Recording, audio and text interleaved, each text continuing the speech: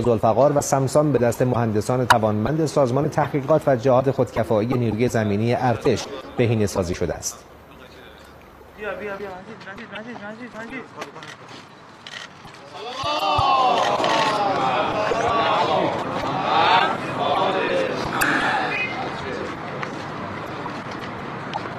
نسل جدید تانک زلفقار به سامانه کنترل آتش پیشرفته و سامانه استابلایزر یا تثبیت هدف و همچنین به سامانه تقویت زره روی بدنه و برجک به صورت چند پارامتری مجهز است.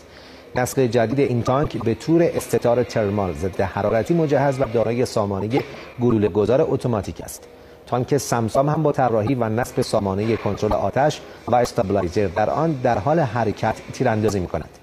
نصب سامانه مسافتیاب لیزری و سامانه دید در شب پیشرفته از دیگر ویژگی های تانک سمسام ایران است.